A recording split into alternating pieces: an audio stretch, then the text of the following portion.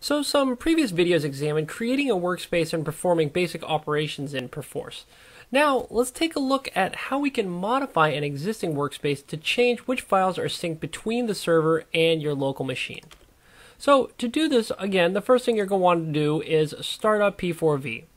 Again, we'll have our dialog, and I'm going to browse for a workspace which I'd like to work on. So let's look at this Project Alpha workspace here and hit OK, and OK to open up that workspace. And once again, we'll be presented with our friendly P4V dialog. Now, if you notice in this example, I've only sunk two depots from the server, namely the Arduino depot and the Australia Bushfire depot. Let's say I need additional files from the server to complete my work. So I need to change this workspace mapping.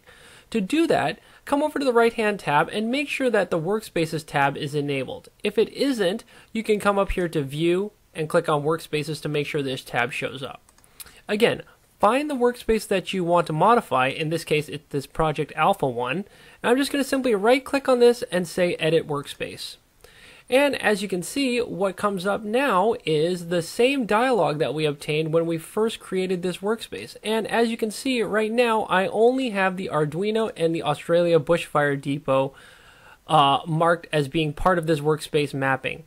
Now, let's say that I would now like to add some additional files. So for example, what if I would like this mapping depot to be included as well? Well, all you need to do is simply right click on this and say include tree and hit OK.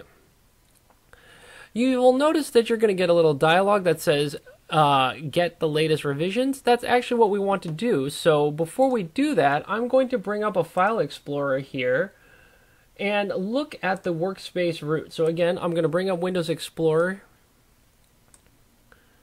and we can take a look here and we see that underneath Project Alpha, again, we only have these two depots currently, but as soon as I hit Get Latest, it's going to show that now I have all of these additional files from the depot I just asked to be synced up with my local machine being copied down to my local machine.